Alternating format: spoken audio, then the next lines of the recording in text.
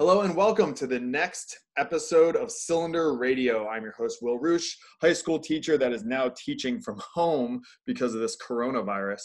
And um, and today my guest is Jay Dyer. He is an author, YouTuber, TV host, comedian, hard guy to box in. I seem to get a lot of guests who are kind of hard to to label easily, um, but very very interesting guy. I'm interested in, in just breaking stuff down with him because I think he's really smart and I think we can um, you know play with some ideas. And the topic, the cylinder for today, is going to be conspiracy theories. Uh, I think that there's a an element of the current events that can tap into this. There's factions of society that that believe conspiracy theories, and we're gonna kind of break down the why. So Jay, thank you for for coming on the show. And can you introduce yourself to the audience who might not be familiar? Yeah, man. Thank you for having me. Um, yeah, I do jaysanalysis.com, which is just a website where I kind of funnel all my different opinions and ideas, essays, videos that deal with philosophy, film, geopolitics, theology. We do uh, a lot of debates. We do a lot of uh, comedic stuff. We did uh, a TV show based on my first book, one full season, full production TV show. And then we do all kinds of stuff. So I have a pretty active, fairly good sized Discord.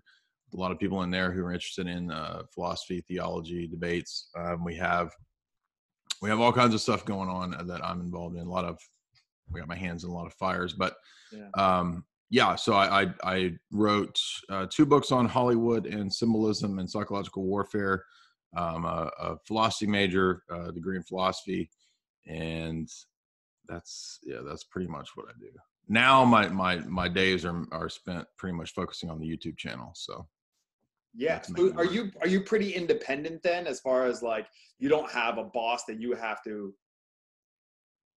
like answer? Yeah, I took I took my what I do full time about three or four years ago. So I've been doing what I do full time. I, I quit my job back then, started doing this full time. The reason I asked that is that frees up um, the stuff we're going to talk about, you know, is obviously controversial, and if if there's certain, um, you know, elements at play that uh, want to keep information from getting out, well, that that you know runs through a, a, a hierarchy within structures, and if you are independent, then you're basically not bound by those structures. That's true. Um, I I function a lot better in that kind of an atmosphere. I've never done well with uh, you know bosses breathing over my shoulder, bitching and yelling at me. So I always lasted very briefly in those kinds of jobs. So I finally got the gumption uh, four years ago to strike out and try to do it on my own. Uh, it's been a, a, a, kind of a snowball. It's grown from just blogging to doing a lot of podcasts, and then we grew to doing a lot of videos. Then we did two books.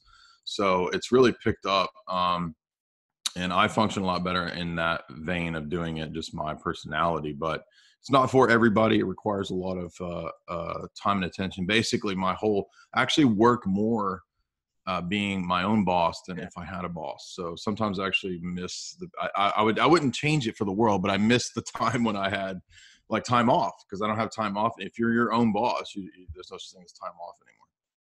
Yeah, I mean that's an entrepreneurship thing. My wife is an entrepreneur, and she, you know, there's that classic: you'll work 80 hours for mm. less pay than you would, you know. But but you know, you do have a boss, and that's your your customers. I mean, essentially, your your boss, for lack of a better term, are the people who follow what you do, and you answer to them. Because if you don't bring quality stuff to them, then you won't be able to provide for yourself. So, you know, yeah, being your own boss is is tricky, but it does allow freedom if you want to just run then you're able to do that. And um, yeah, so that that makes a difference. So to start off talking about conspiracy theories, uh, there's a I think it's probably like Michael Shermer or someone like that from Skeptic magazine. You know, someone said this joke where a guy dies, and like um you know Saint Peter at the gates is like so. Uh, or no, or God, you know, shows up. So I'm messing up the joke already. But a guy dies, then God comes down and says, you know, Thank I'll God. tell you anything you want to hear and uh, and the and the guy says, uh, "I'll answer any question for you." And the guy says, "Okay, who killed Kennedy?" And God says, "It was Lee Harvey Oswald, and he did it with his bolt-action rifle from the book depository." And the guy paused and goes, "Hmm, this goes up higher than I thought." you know, and I just kind of screwed up the joke, but essentially this this concept of when people have conspiracy theories, they are deeply locked in and committed to them. Um, I'm guessing it has something to do with trying to make make sense of the world, which is obviously very confusing, and find meaning and just get it getting some sort of like, you know, some sort of anchor in reality, um, to, uh, explaining why crazy things happen the way that they do. But what's your take on on conspiracy theories and why they exist and why certain people buy into them more than others and things like that? That's a great question, and I like the way you framed it with uh, the way that we tend to latch on to beliefs and structures for interpreting the world.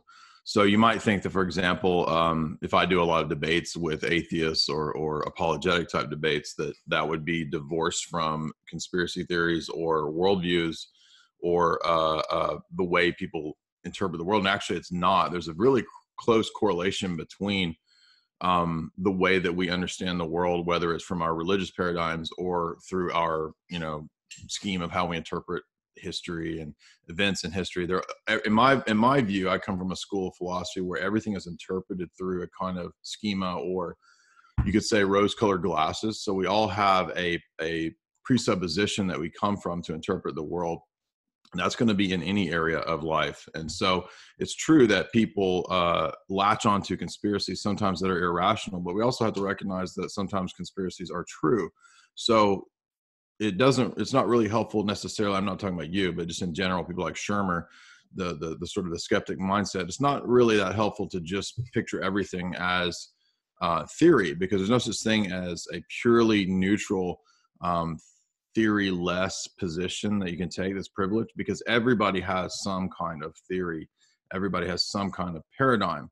So when we talk about conspiracy theories this is is pretty nuanced and and i everybody goes through a kind of a process. When you first kind of wake up to this kind of stuff you you are a little more gullible because you haven't been duped. You haven't fallen into stupid conspiracies and mistakes yet. But after a while you do and then you kind of hopefully you get better at your skills of analysis and you don't fall into the traps um, and, and, you don't think that you know aliens are uh, about to land and get you and all this kind of nonsense based on youtube videos. Some people still are stuck in that phase i don't know but um, there's a there's a natural prog- uh, progress to this and so ironically in my own situation i moved from i think i was awakened to conspiracies when i was about 19 so that's about 20 21 years ago and I immediately decided to take more of an academic approach to these questions. So when I went into university, you if you progress and if you get into conspiracy stuff, you'll immediately start dealing with things like intelligence agencies and who's doing this and who's behind this and who did this black op and what's this uh, fake flag operation. This so this leads you into the realm of geopolitics and espionage and so I started realizing, well, that's actually the academic route, the historical route for these questions. And so that's how I pursued it in a more serious way. And you come to realize that, oh, it's not so much that uh, if you want to frame it as conspiracies, you can. But if you think about it in terms of espionage and geopolitics, this is the norm of all history. All of history is governments engaging in subterfuge with different governments. So, for example, if you read uh, Machiavelli's book, of, uh, book Art of War, not Sun Tzu, but Machiavelli also wrote another book, Art of War. He's known for The Prince, of course, but his other book, Art of War. There's a, if you read book six of Art of the Art of War, it's nothing but tricks, fake flag operations that you could do, uh, ways to mess up your enemy, all kinds of deceptions, right? So that's one of the most famous texts on warfare, and it's nothing but quote conspiracies and so when you start researching military history and this kind of stuff and, and operations that were done in wartime, you start to realize that this is a lot more common than most people think. So it really depends on how we frame or understand conspiracies. Um, if we mean YouTube videos with grainy uh, discs floating in the sky that are obviously screenshots from Independence Day, yeah. that's not a good argument. That's not a good uh, forensic uh, case for a conspiracy. If we mean things like Gulf of Tonkin, uh, uh, USS uh, Liberty, these kinds of things. Those are real questions that that have to be asked, and we can look at those events. We can look at prior events. Again, norm it's normative in warfare for there to be large scale deceptions. That's a great point. Like lumping in, you know, like Operation Northwoods, you know, yeah. which was this concept that we we're uh, going to. I was like pushed on on President Kennedy, I believe, that this idea that we're going to attack American um, institutions and say it was the Cubans as an excuse to get into Cuba. And we never did it, but that was like a legitimate proposal. Um, you know, the Operation Paperclip, bringing over a bunch of Nazis, you know, to work on our rockets and stuff like that. Like lumping those kinds of things in that Gulf of Tonkin, that actually happened with flat Earth and with a lot of other things. That's where it gets confusing. Yeah, like how are we going to define this idea of conspiracy theories is a great point because we we have to like maybe separate them between flat earth is a very different thing than how do we you know protect people get what we need get the resources we need on a, a you know a global scale and things along those lines. I mean would you agree that that's that's just like an important i don't know how how to separate them i don't know how to do that but that seems like something that needs to get done that not all theories are created equal essentially yeah. So uh, if you're in the domain of looking at paradigms or worldviews as a whole, uh, or if you're talking about specific instances in history, it, there's no easy answers. I mean, I don't have any set view on, for example, JFK. I mean, I don't believe the the official classic history of JFK. Mm-hmm. I think that's that's false. Um, but I don't pretend then to know specifically all the different details. I got a bunch of JFK theory books, but I think that it's similar in these kinds of big events where we can have a kind of a overall um, idea of the inconsistencies in the story. If we want to play detective, we can look at the things that don't add up in the story. That doesn't necessarily tell us who was behind every single detail and event. I think we can, we can again form kind of general ideas based on things like the Project for a New American Century, that kind of stuff. But um, it still doesn't tell us every specific. But a, a, police officer or a detective doesn't know every specific when they investigate these kinds of things. They do, they piece together what looks to be the case. And so we all do that. And so, of course, I recognize the ambiguity of history.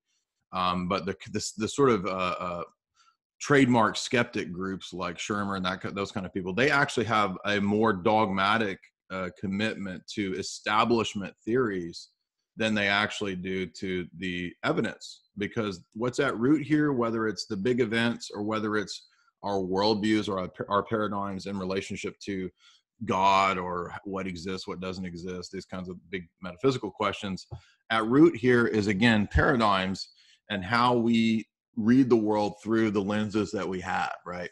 And so, since everybody has those, if you read a book like Structures of Scientific Revolution by Thomas Kuhn, he shows that at no point in history did a scientific revolution occur just on the basis of oh let's all get together and look at the evidence and then we will all come away with the obvious conclusion because if we look at the lady holding the scales if we just put the facts on which side and, and the scales will uh, tilt that's not how it works people don't work that way because that completely ignores how humans interpret and interact in the world humans don't want to be wrong people don't just give up their their uh, uh, assumptions just because they're wrong. They have all kinds of biases. They have all kinds of uh, ulterior motives. Uh, you know, people who work in science, they want to get funding, right? Mm-hmm. So there's there's motivations that are there. And again, I'm not denying science. I'm just saying that it's naive to think that everybody operates on the basis of just looking at brute facts, tabulating up the number of percentile percentages of the evidence, and then therefore we'll we'll pick that one because it has 67 percent uh, of evidence over against. I mean, this is another problem in philosophy. It's called the underdetermination of data, where you can't just look at different models of data and know which theory is correct because you might have two, three, or four, or five, a hundred theories that actually can fit different data. So where we as philosophers actually look at things at a more fundamental level. So whether it's big events and, and conspiracies, quote unquote, or whether it's your paradigm, the recurring problem here in both of these examples is how do we understand human being uh, the human being's interpretation of the world? And can we have certitude and can we have a way to judge between different models? And the strength of the school of philosophy that i come from is that we argue yes we think that there is a way. So even contrary to, to thomas, thomas kuhn himself who thought that there was no way to compare different paradigms we would actually argue that you can compare paradigms and you can show that certain paradigms are more uh, not just more rational but even pre-rational and even necessary. Because if, if you have a worldview for example that totally undercuts the possibility of reasoning at all then your worldview is not true. Because if you start reasoning by that very action you're disproving the the the most fundamental uh, pre-commitments in your worldview. So therefore which worldview can give a better account a better coherence view uh, of truth of knowledge of reality etc so that's the strength of transcendental arguments and presuppositional philosophy. It doesn't necessarily tell you in every uh, specific however which theory or analysis might be true. So, uh, does a presuppositional apologist know, uh, like by osmosis, whether 9 11 occurred according to this thing or that thing? No, it's not going to tell you in every specific, some magical way to know, uh, apart from, you know, empirical evidence, sure. But uh, when it comes to comparing paradigms themselves, more basic questions, yes, you do have a better approach, I think. So that was kind of a long winded way to answer the question and just to point out that um, we don't live in the world of what's called naive empiricism. This is the the attitude that uh, developed out of the Enlightenment, um, and that's kind of been debunked for many centuries. But what you get in people like Shermer or a lot of the modern day pop atheist apologists is you get this kind of rehashing of the uh, uh, older, uh, you know, enlightenment era paradigms that most people don't even believe anymore but they just kind of rehash it. But to be fair to them the people who argue for theism they just rehash 1700s era arguments too. Uh, just a lot of times based on ignorance. So we've got two people clashing together these uh, modern sort of so-called theists and then we've got the modern atheists and they just kind of fight each other over arguments from from 400 years ago which is silly but the point I'm making is just simply that whether it's theism or whether it's big conspiracy events, there are more fundamental philosophical problems that I think have to be addressed uh, before we can build a worldview, build a consistent approach to interpreting the world. Yeah, well, I mean, there's so much there that you know. I I think that when I read Jonathan Haidt's book, um, it really it, uh, the righteous mind it kind of broke it showed me a little bit of like how you're you're kind of programmed to see things differently you have these specific lenses um, mm-hmm. psychological temperament and stuff like that mm-hmm. and he used some, an example in the book because even when you say like let's look at data you know and i've had um, I had Peter Boghossian on the on the show, and you know I love the stuff that he's done, and Sam Harris and Michael Shermer. I think they they bring a lot of value to mm-hmm. what they're doing. But I, I I hear your your perspective on this of like, even if you're just basing everything on data, the data is so easily corrupted, and that's part of why Peter Boghossian is going after like the the social justice stuff. Is he's like you we need the best data possible. But mm-hmm. Jonathan Haidt had to a cool like hypothetical where there's a peer review coming up on a on a on data that says like uh, on a, on a you know some sort of experiment that showed that caffeine causes breast cancer then female coffee drinkers are going to be very they're going to scrutinize that data to make sure that it's not true but a male who doesn't drink coffee is just going to be like yeah seems to check out. Like how we even get good data is is so tricky and and even with Michael Shermer talking about like how he just you know needs to you know nothing he's not going to have like faith on anything going to be a skeptic skeptic magazine skeptic about everything is you can become blinded to things. And i went through this just this week because um you know cylinder radio heterodox academy guy and i don't like criticizing trump because it's so easy that i always give him the benefit of the doubt. And when he was giving his press conference one of the press conferences and he was just handling it so poorly. It I realized that I I was really ignorant to how poorly he was handling it until it got like way obvious that like he was doing handling it poorly and then I was like wow like me trying to be balanced and trying to be reasonable has actually made me blind to it. And I think that can apply to what we're discussing here with whether it comes to faith or when it, whether it comes to conspiracy theories is you can be so like focused on on being like balanced or being like based on yes. fact that you can ignore something right in front of you let's do yeah I, that makes me think of two examples that we've been kind of noticing lately me and my friends um So let's give two uh, uh, two fallacies that are exemplified in exactly what you're talking about. So on the side of people like Michael Shermer, uh, there could be the fallacy of what's called the fallacy fallacy, and this is the idea that because something is argued poorly, that therefore uh, the position is false. Okay. Well, just because a position is argued poorly,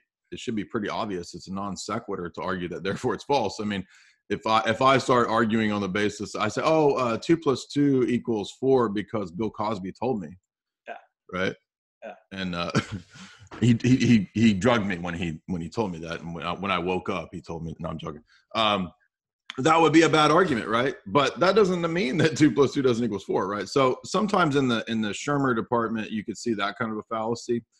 Um, and again, I would stress also that I think if I was if I was to debate Michael Shermer, uh, I would point out issues related to naive empiricism and those kinds of traditional commitments that he has to that older Enlightenment worldview that I think has been debunked, especially if you follow somebody like David Hume. I mean, David Hume is great for our side because he's the consistent guy who's followed through that skepticism and pointed out that if skepticism is true, uh, you have to really kind of admit you don't know anything. And so you don't actually have access to these things like reason and logic and these objective things that you think. And if you watch my debate with Matt Dillahunty, I just keep sort of reiterating that point because from my vantage point in the debate, I don't think Matt ever got that. And he just kept saying things like, well, logic just is. It just is, which is ad hoc.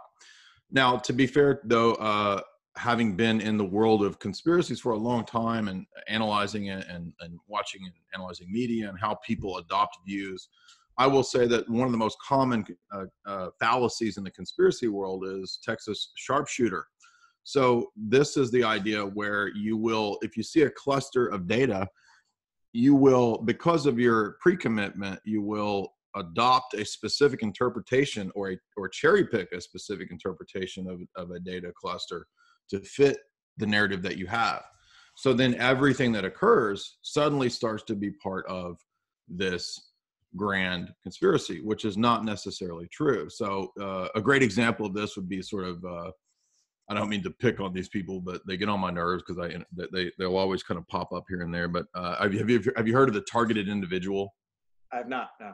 Okay, so this is a field of conspiracy people who think that they specifically are pointed out and targeted by the government. And so it's verges at times, and I'm not trying to be mean to people, but it verges at times on a kind of paranoid schizophrenia where they think that every event that's happening, right, is kind of like done to mess with them and that they're the subject of a vast kind of Truman Show conspiracy, right? And so, like, if the neighbor is uh, suddenly mowing his lawn at, at four in the morning for whatever odd reasons, because your neighbor's insane, maybe you just have a crazy neighbor. Oh no, he's mowing his lawn to mess with me and to keep me up to drive me crazy. So there's a lot of doc- narcissistic, doesn't it, Jay? I mean, it is very narcissistic. I mean, there is a weird. We actually we had a good discussion about this recently in my Discord. That uh, there is a kind of interesting mm, sort of God complex, like the whole world revolves around me in the the, the weird targeted individual world. So so, uh, so if I were Michael Shermer and I was watching those kind of people, I would obviously think that kind of stuff. And I was just trying to that this is this is some kind of weird narcissistic. Uh, um, if this person feels like they don't have power in their life, that they then need to come up with a grand narrative to give their life meaning, to give themselves power, right? Right. Anyway, but uh, I was just using it as an example of Texas sharpshooter, where so they will do something like, um, have there ever been people who were uh, you know messed with by a tyrannical government or experimented on yes that has happened verifiably. So therefore that must be happening to me right? Because i picked out these instances in the data of history where it's happened it must be happening to me then every event is interpreted to mean that right? Oh i'm standing at the grocery store and like the person in front of me uh, is is keeps adding items so so i'm being held up in line even longer. Uh, they're doing that to me on purpose right? It's just it's just it's just madness but there is ironically a kind of logic to that madness that exemplifies that fallacy. So we have to be careful because any of these positions that we adopt can become, as you pointed out, a dogmatic position to where even if you're Michael Shermer, everything is somehow you're you think you're skeptical of it, but you're actually a dogmatic skeptic, and that's actually an irrational position. Yeah. Did you ever see the, the website Spurious Correlation?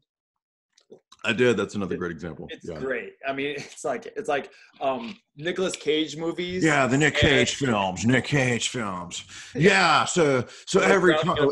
Yeah, What, what, what- what was it like? Swimming pool deaths or something like that? yeah, this is, it's like it's like two things that, and the, they they align so well because the first i guess the one of the first rules in social science is correlation does not equal causation but Right. yet we do it all the time and yeah, thank you. That's actually a better example. You're right. I should have used correlation causation because that's probably that's even more prominent in conspiracy circles than Texas sharpshooter, but they're related. Yeah. yeah um so and part of this also is people don't like not knowing things like if you ever watch like jimmy kimmel Lie witness news he just goes out and makes stuff up and people on the street are like it's hard for, like even when you say like Did you ever consider the possibility? Hold on, hold on, hold on. Yeah. It just occurred to me. Did you ever Yeah. consider the possibility that the Nicolas Cage is going around and drowning people in swimming pools? yes Did you ever think consider that that's what's happening? yeah So maybe Uh, there is, maybe there is a correlation and a causation. I'm what if it i mean it'd be perfect he could do it and just and just say like hey well I, the data was there you should have found me earlier um the uh like you know people like even when you said are you familiar with the texas sharpshooter or like or the the um paranoid what was it? The the man um, targeted man? Targeted individuals, yeah. i'm trying to run this this podcast like i know what i'm talking about and i'm well researched. So even then i'm like oh no i don't know. Is that something that i should know? You know like it's hard to admit when you don't know something especially in the world that you're supposed to. I'm a history teacher. You bring up something in history and i don't know it. It's like oh no i'm a failure. And then you have like imposter syndrome and all this kind of stuff. So people want to know things and they don't like the uncertainty Right. um, there's a couple that I want to just point out, get your thoughts on. So Eric Weinstein did an awesome breakdown of his take on the um, Jeffrey Epstein case on his podcast, The Portal, and it was really good. And he had personal interactions with Jeffrey Epstein, and and that's I think one that I don't want to rehash what what he talked about because he has personal interactions and stuff, but. Um, but this seems like one. I mean, I want to get your take on it, but it seems like one that's very obvious that there's some shenanigans, let's say. Um, there's something going on here with this guy being very powerful, no one knowing where his money came from. He died, it's out of the news cycle. News stories were buried. Like, there's, it's so big, it's become a meme just to keep it in the common, you know, like vernacular. But the, but what's, what's your take on that? Is that like, that's like a pretty big conspiracy theory that's going on you know, I guess uh, for the past couple of months. What are your what's your take on that? Um, my take on it is uh, to look at previous similar situations. Um, I just did an interview with a friend of mine who's a, a Russia analyst, and he was doing an analysis of the history of the figure of Robert Maxwell during the Cold War. And Maxwell is a really fascinating character because he seemed to kind of play both sides of the uh, East West dialectic during the Cold War. So he would have interactions with um, the Soviets and try to kind of play them, and he would have interactions with uh, British intelligence and try to play them as well.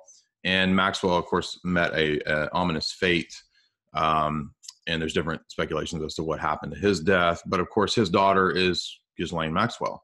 So uh, I think we can see precedence for this uh, with Robert, given the fact that he was a media baron, uh, intelligence asset uh, operative, um, was doing all kinds of crazy stuff that most likely included uh, compromise operations.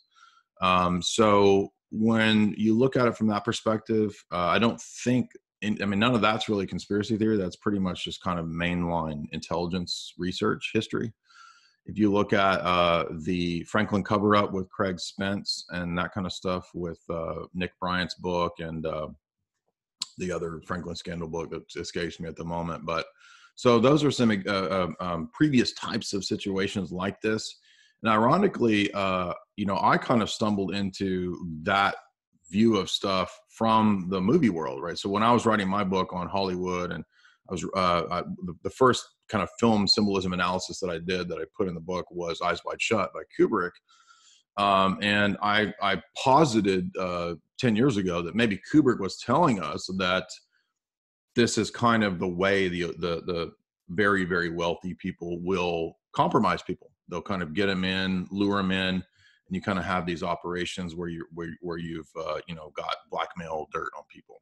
Yeah. So i was aware made aware of this. I met some people who did a lot of research and analysts analysis in those in those types of fields um, over the, the last decade uh, i did a bunch of research in relationship to the roman catholic church and their scandals that are very similar um, to that kind of stuff these kind of sexual blackmail operations and then my publisher uh, put out do you remember uh, Deborah Jean? Wait, no, he may not have done. I think he did. I don't know, maybe not. I don't know. But so there's two different madams. There's Deborah Jean Palfrey, who was the uh, uh, the DC madam, and then there's Henry Vinson. Who's another Heidi madam. Flex. The thing is something else. Okay. So these these are two famous madams who uh, talked about their operations that they ran with their whorehouses, basically. Yeah and that that a lot of it was involving a lot of dirt on very powerful politicians. So that was in the realm of politics, um, and it looks like the, the, the Epstein situation was very similar to that. So uh, that's my take on it. That's always been what my take was. Um, I didn't know about Epstein, you know, himself until I think the first time I saw about that was uh, Ben Swann had done a report on the uh, Lolita airline and, and Clinton and different people having been on that. I think he reported on that in 2016 or 17. So I didn't know about Epstein per se, but I had known about these other examples. So that's always been how I've interpreted this case.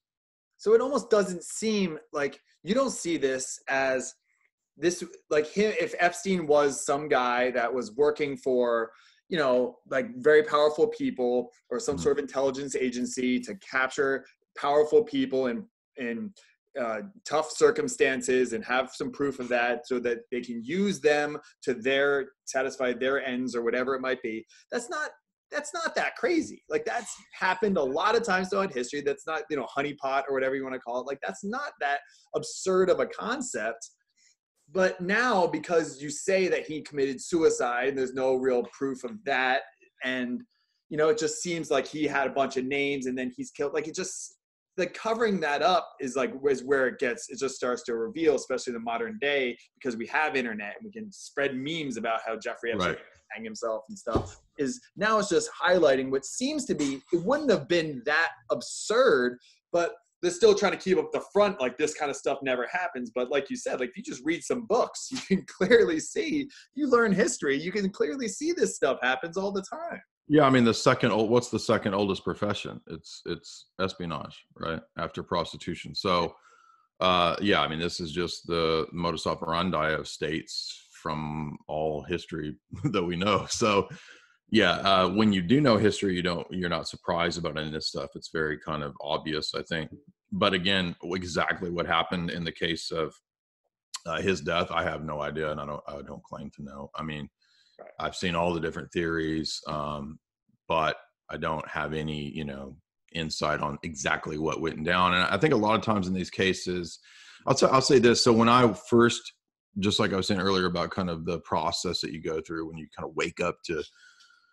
get woke to the way the world really works and this kind of stuff, you kind of initially assume that you got it all figured out. And then as you learn more, um, as you study history, as you study these topics, you more and more realize how sophisticated and difficult it is to actually know specifically in every case what went down. So you can kind of have general theories, um, but I will say that I've become more and more of a skeptic in the sense of the conspiracy world. Not that I don't think there's conspiracy, absolutely, absolutely do. But what I'm getting at is that you learn the complexity of these things, and that it's not as easy to peg black and white, good guy, bad guy, as I thought back when I was, you know, 23 and I was reading conspiracy stuff. Well, now that I'm 40 and I read these kinds of things, I think there's a lot more nuance um, and I don't claim to know, right? So, like with with the Big Nine event, I don't claim to know exactly what went down, but I definitely do not believe the the official story. So, I think that's a much safer approach. Um, a, lot, a, lot, of people get mad at me too because they assume they know what my positions are. So, for example, if I critique, we did a that that interview that I did with my friend who's in Russia analyst, we did a critique of uh, some of the CIA defectors. Mm-hmm because what happens if you defect is that you'll then put out the information that the CIA wants you to put out. So people assumed that that meant that I was defending the Soviets. Well, that's a di- false dialectic. I don't care for either Sovietism or uh, Western crony capitalism, either one. right? So to assume that because I criticized the you know, Yuri Bezmenov and these kind of uh, defectors, that doesn't mean that I think, oh, I'm, I love Stalin secretly. Like I got you know little Stalin icons secretly hit you know hidden in my shrine somewhere. That's just ridiculous. Uh, I mean, I can I can believe that two different positions are um, both bad uh, uh, and have their flaws, um, and debate that out, and without falling into the either or fallacy. Yeah, yeah. I think we can. You know, I think like why not just like you know entertain ideas, take the best information, and be open to the fact that you could be well, wrong. Let me add to that because that's another thing that comes up in conspiracies. And by the way, uh, a lot of people don't know this, but if you study psychological warfare, you, you'll realize and you'll learn that a lot of times there are fake conspiracies that are put out on purpose. Mm. And this is called disinformation. so if you just look at disinformation as a kind of fake conspiracy, look at the last few years of Russiagate, right? Russiagate was a gigantic. Uh, we said all along that it was not. It was a bunch of nonsense, nothing burger, and that has been completely vindicated. I said that back in 2016. I made two or three videos calling it uh, a, a bunch of nonsense.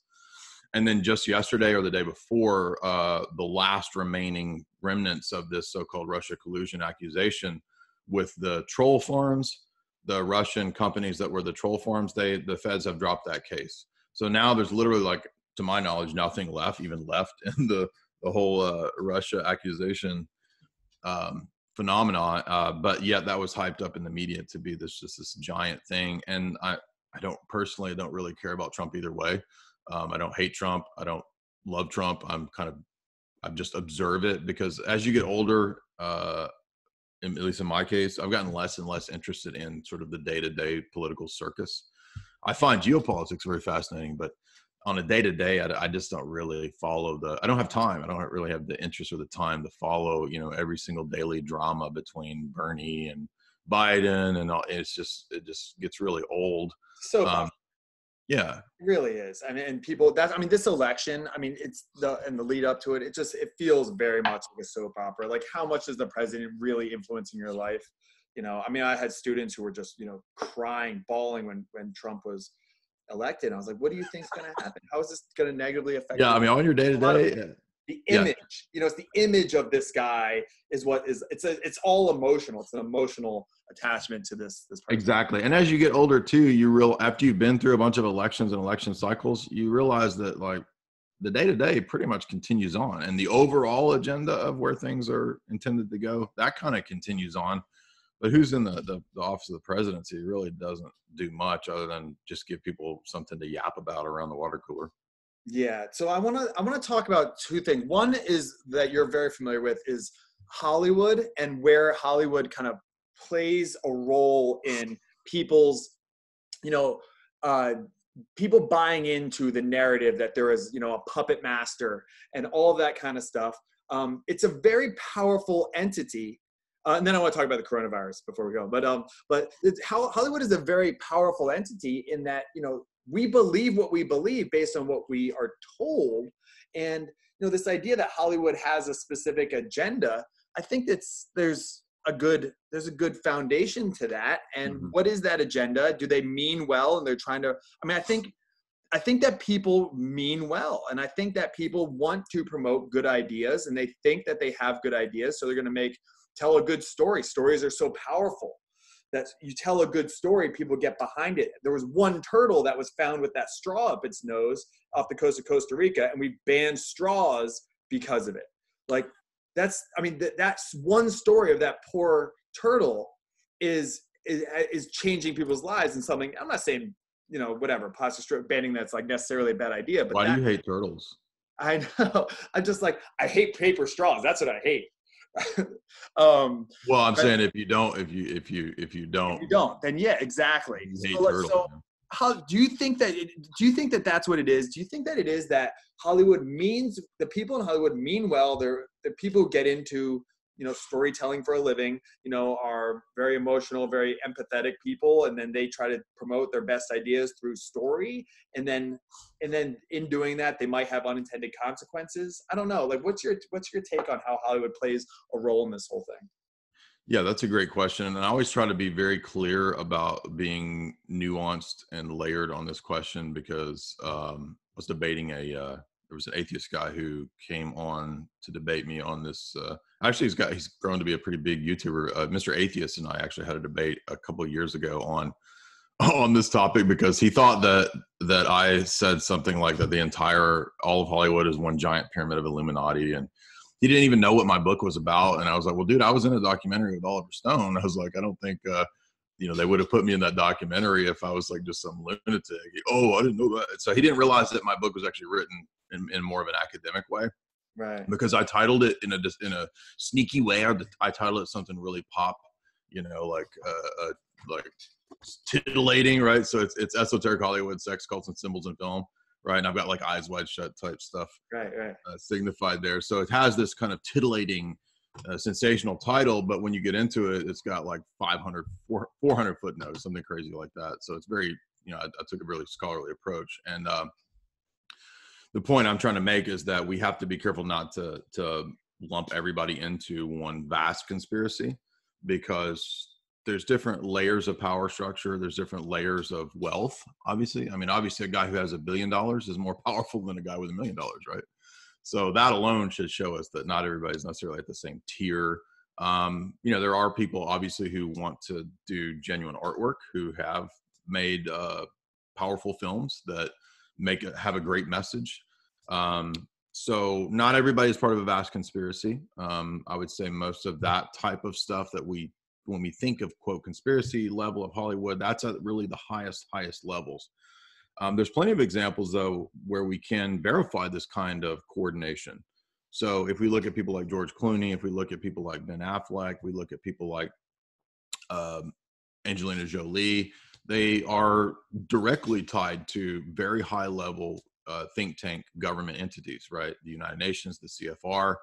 Um, so really that's not even in question um, people like jennifer garner have gone from alias to openly working with the cia so what i found when i was doing like my my grad work on this was that there's a lot more co- Sorry, there's a lot more can I interrupt you for a second? Like, I am not familiar with the Jennifer Garner thing, so I think that's an example where, like, like when, when you say she works for the CIA, like, what is that? Can you just, just like explain that to? Right. So there's a academic book that's great on this topic, which kind of helped. I, I used it when I was writing mine. Uh, it's called Tricia. It's a uh, CIA in Hollywood by Tricia Jenkins. She's a PhD at University of Texas, or I don't know where she's at, but Austin or something. But it's a well-known book. There's another book called Operation Hollywood um, which is uh, deals with similar topics. The only reason I bring those up is just to point out that uh, that book discussed how the CIA consulted on Alias, and then after Jennifer Garner left Alias, she went into doing public PR work for the CIA. Uh, so I, am not saying that like a good to make them seem like a good um, organization or to promote a specific agenda. Like that's what I'm just. Well, uh, her videos and that kind of stuff was more toward geared towards recruitment. So she would go out and do presentations and this kind of stuff. Um, and then, interestingly, Ben Affleck uh, himself made the point in an interview that that look a, a large portion of the CIA or of Hollywood is involved with the CIA more than you would think. That's in a famous, I think it's either a Telegraph or a Guardian interview. I've, I've cited that in many uh, many lectures that I've done. But the point is just to say that um, yeah, if you want specifics, I can give you many, many specifics. The easiest way to verify that this is true is there was a FOIA re- uh, release last year. I cited at the beginning of my second book that dealt with uh, Pentagon and and and um, the different agencies put allocating a lot of money to having messages inserted into I think something like it's thousands. It's in the thousands of films. I can look and see what the specific number is. So I'm just saying that I'm, what I'm saying is that there's different levels. It's not like there's only there's one guy in an underground base who's telling everybody, "Oh, you'll put him in that movie. You'll put him in that movie." Uh, uh, it's not like that. It's what's more like reason why they would be doing this. Well, what's the? I mean, Edward Bernays is the father of uh, propaganda. Uh, promote to promote like is it something to promote like economic um economic strength in America? Is it to promote to keep people quiet? Is it like I guess, I guess no, it's not. Yeah, it's not yeah. either or. There's uh, there's there's multiple different motives and and reasons shape, and shape the popular. All it's all the above, right? So, um, for example, a, a, a blockbuster that's way more important if a potentially say 500 million people will see the new James Bond movie. That's way more important than some independent film that that you know 50,000 people are going to watch, right? Uh, so so again, I'm not trying to paint this as one vast thing. There's a lot of, of layers and a lot of nuance here. So you can have, let, us go back to the beginning of the camera. When they invented the camera, they realized how useful it would be for propaganda. So some of the earliest stuff that was filmed was war propaganda. So the beginning of movies comes out of like people want, figuring out, hey, let's make some war propaganda here, right? First big blockbusters, uh, uh, Hell's Angels, which is a uh, uh, Howard Hughes film. Um, that is a giant war propaganda film, right? So if you've seen The Aviator, Martin Scorsese, then you you'll remember that Howard Hughes, the Leonardo DiCaprio character, was like doing these giant Hollywood movies, right?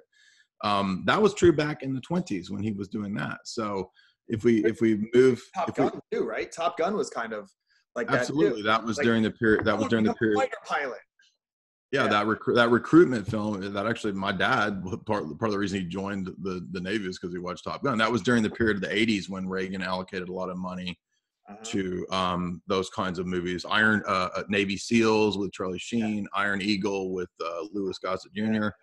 Uh, so there's a whole bunch of those in the 80s. Um, that's another example. That's just at the level of like recruitment and and uh, propaganda. Again, if you get the book uh, Operation Hollywood, all that book is is like 30 years of um, different consultation and alterations to scripts that the military pentagon these groups did. That's not even dealing with like the cia level of stuff right? Uh, just take the movie zero dark 30 that movie was basically made as a cia film. I mean that's openly the case right? So some of the biggest directors biggest people kathleen kennedy these kinds of people. Uh, uh, James Cameron, um, if you read uh, Annie Jacobsen's book on the history of DARPA, um, James Cameron's films have had this kind of consultation from DARPA. These kinds of people. So uh, again, I'm not trying to paint in an over, overly simplistic picture of everything being one giant conspiracy, but it would be very naive to think that all of these films don't have this this kind of interconnection and consultation, which they absolutely do. That's been verified. There's at least I mean, there's I'm sure there's more now, but I mean, there's Milt Bearden, Chase Brandon, two former CIA operatives who consult on film. Um, if you book, get the book uh, uh, "Denial and Deception" by Li- Melissa Boyle Mahle, she's a former CIA operative who trained Angelina Jolie, trained her for the movie Salt. Right, that's another movie uh, made in this vein. So, what you the more that you dig into this, the more you find it's it's it's flip sides of the same coin. Yeah. Um, just because uh, do want to wrap up, uh, you know, five minutes or so, but the yeah. coronavirus is, uh, and I can talk to you forever. I just actually have like another appointment that I need to go to, um, but because this is so interesting, and and I think that part of what why this is a podcast, I try to keep it, you know, under an hour, but the this is one where you know, Jason, you're so nuanced because I think that that's part of what it is. Is like nothing is simple when it comes to this. That right. in order for you to to communicate your ideas, you, you can't say it simply because then those aren't going to be your ideas. Well, so, somebody will take that one phrase and oh, he said this. He said. I know, I know. So I, I just wanted to apologize um to for for for kind of you know cutting you off to. No, that's okay. I understand. You got a time limit. That's fine. Yeah, but but it. it well, that's I why I wrote a book. That's why I wrote books, so you can get my books to be able to read. Yeah, and I want I want people to to you know follow what you're doing, and I think that hopefully this is just like giving people like like a like a drug dealer, like get a little taste, you know, of of this, and if because if you're kind of triggered a little bit or turned on a little bit by like oh okay there's nuance here. There's a lot of you know specifics that i want to dive down. I think that that's that's you know something that i, that I want to encourage people to to to go into. Um, but this the coronavirus um, there, right now it seems like we're at this impasse between what's going to be worse for us the virus or the economic downturn of people sitting at home doing nothing. Um, where does this fit into? So I'm hearing a lot of conspiracy theories. So where does this fit into the topic by your estimation? No, it's just all great because for me now you can all just go sit and watch my live streams and send me your Trump bucks. So when Trump sends you your two thousand dollar check, yeah. cash it, or uh, I'll also give you my Bitcoin wallet. Everybody can just watch my live streams. like last night, I think I had like like with between last night and now, like eight thousand on the not, not live people watching live, but uh, that's like my biggest live stream. And within 16 hours, have like seven or eight thousand people, which I'm, I'm kidding, but I'm at the same time I'm being serious, tongue in cheek, because it's like, well, now everybody's sitting at home. I guess this is great for live streamers, right? Like, yeah. like now we get a bigger audience, right? But um, no, ser- being more serious, uh, yes, the, the bigger threat is I definitely think the uh, danger to the economy. Um, the if we overreact to this stuff, um, I do have my own opinions on the coronavirus. We actually did a three-hour podcast with some pretty big directors uh, if you've never heard of uh, Aaron and Melissa Dykes, they did the pretty big film uh, uh Minds of Men, which is an excellent, excellent three-hour, just totally documented analysis of the history of the MK Ultra um, uh, experiments and all that. Um, so they they totally p- packed it with all the citations. It's not conspiracy per se. Uh, if you haven't seen Minds of Men, go watch it on YouTube. It's got I don't know two three million views. Really good film. Um, so we did a, a, three hour podcast with them and some other friends of mine where we kind of just unloaded all of our data and, and, and we all kind of came to the, the rough consensus that there does seem to be some shady uh, aspects to the origin of this. We do, uh, I would say that the, the event 201 uh, could be relevant for this. If you're not familiar with that, you can look that up. Um, I would say the Nature article from 2015 about the uh, engineering of different kinds of uh, bio stuff. Uh, I don't know how. I, I'm, I was trying. I was having to censor and co- talk in code on my YouTube channel last night, so I didn't get my, you know, trying to get my shit banned last night. So I'm trying to think how to talk in a, in a coded way. Um, but I definitely think I do. Th- I think there's a real virus. Uh, I do think there's a real pneumonia. I've had pneumonia. I know what it's like. It's awful. Um, but I don't think it's uh, near as bad. I think it's being way overhyped. There is a real thing. There is a real danger. But um, ultimately this fits into uh, an overall technocratic plan so that i would be very leery of the universal basic income that's a that's a basic uh, plan of the technocrats to have that to move into the cashless global type of situation where we have a global government and a global economy and all this stuff i know there already is i know the dollars i know all that but i'm saying like a more intense thing um, that has been planned for 100 years. So one of the things I do is what I call my globalism uh, globalism books talk, where I do 40 plus lectures on 40 plus books uh, of the of the elite of the last century. So we pick out um, the most important books of the elite, and we go through them one by one by one. Uh, one of those is so big, a 1,300 page Tragedy and Hope. I had to do eight lectures just on that book. So there's actually there's more like probably 50 or 60 lectures, but we cover Brzezinski, we cover CIA handlers and operatives, we cover um, big time geostrategists, uh, we cover historians of the CFR like Carroll Quigley, we cover Rockefellers, we cover all these big name people, DARPA, yeah. uh, RAND Corporation. Um, so that's my approach to these questions is reading it from the big scale perspective. So I see the Karanka virus as fitting into a plan to move people into uh, technocracy. It's not going to be a technocracy tomorrow. It's part of these phases of moving people into those those uh, kind of cashless, technocratic. You're going to be run by AI. Everything's going to be tracked and traced. Smart city, bubble city, nightmare. Hmm. Interesting. Um, yeah. Again, I'm I'm kind of bummed that this you know that right now I'm teaching remotely, so I'm kind of bummed that I have to go teach a class. Well, you can have me back on sometime. I'd be I would, I would love to, Jason. This is this is interesting. I think that also you're just someone where I'm like, ah, oh, I have a topic and I can't find a good person for it. I feel like I could just run anything by. So um, so uh, people can find you. Uh, best place would be like like social media. I'm guessing in your YouTube channel that's under- yeah. You go to you can go to jaysanalysis.com and uh, I have a vast uh, four year archive of lectures, talks, interviews, um, all kinds of stuff. Like I said, we have the globalism books talks, which is 40 plus lectures of the time. I mean, you're getting basically a master's degree education for 495 a month. Um, I've got YouTube channel. Definitely follow me there. Two books. You can get signed copies of the website. Uh, my TV shows at, at uh, Gaia TV. It's called Hollywood Decoded. Uh, you can watch that full season of that TV show there. Um, yeah, and then I'm on Twitter, Instagram. Just search Jay Dyer, you'll find me. Yeah, and and JC, I don't. I think that it's pretty. uh, easy to say you're not for everybody but for some people you are like a great great resource for getting information and analysis and stuff like that I mean, it's esoteric right i mean that's that's um that's part of it sometimes so, i mean yeah and then and then like last night a lot of people were mad because i was acting like a complete idiot for two hours on a live stream just having fun and i'm like come on, man. Like everybody's freak. I'm I've been following the coronavirus since January. I'm I'm so sick of reading about it and hearing about it that I had to just like you know talk about something else. So. No, I hear you. Yeah, I hear you. But um, but thank you so much for doing this. And I thank you. I'm honored. To doing it again, Jason. Thank it was you. a great chat. All right.